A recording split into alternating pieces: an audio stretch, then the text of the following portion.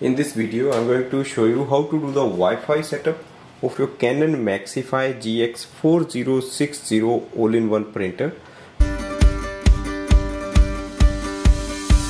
First step is to go to the printer display panel, click on the setting icon, printer setting, LAN setting, select Wi-Fi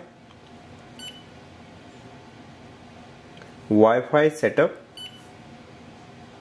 You have option easy wireless connect manual connect and WPS push button method. Easiest is using the manual connect. Select your Wi-Fi network. Enter your Wi-Fi password using this panel. Once you enter the password press ok and press ok to apply Printer is connected to the wireless router. Press OK. Click on the home screen. Go to your smartphone.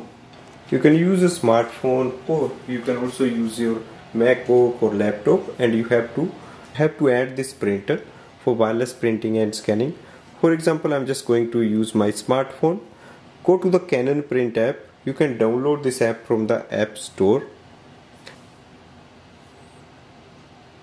we have to add the printer so click on the add switch register printer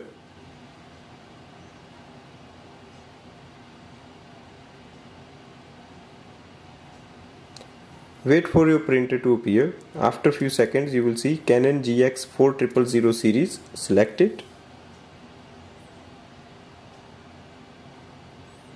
Instantly it will add up the printer we are ready to use it for wireless printing and scanning. For example, to do the scanning, you can use the ADF tray. So I just have this test print. So I'm just going to scan it. Click on the scan icon and scan.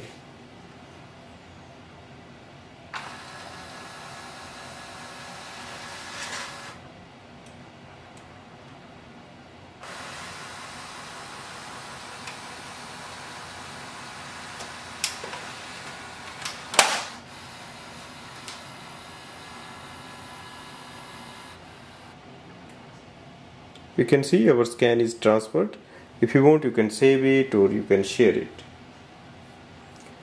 If you want to print anything just select any document and send a print command.